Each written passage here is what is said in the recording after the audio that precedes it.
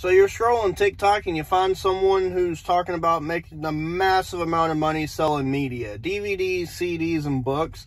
And you think to yourself, maybe I should do that too. And you head out to the thrift store that morning and you walk up to the media section and you see this and immediately get intimidated and just go back to sourcing t-shirts, clothes, electronics, the stuff you normally sell. Don't give up that easy. Turn back around, go over here and tackle it. Here's a couple tips to help get you started. You're going to go straight to the DVDs and you're going to go up and down every aisle. You're going to pull every sealed item you find and you're going to scan that.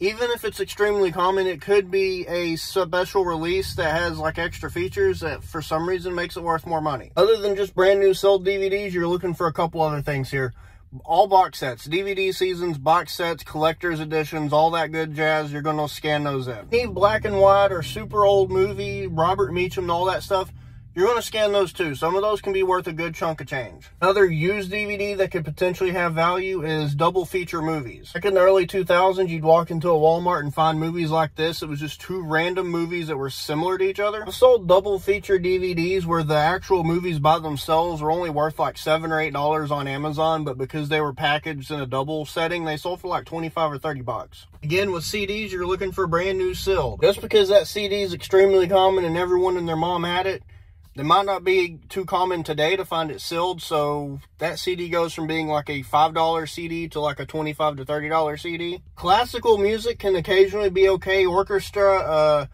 if you see a CD and it just looks absolutely weird and like no one in the world would even want that, scan it because some of those can be worth a good chunk of change. Also, Wiggles.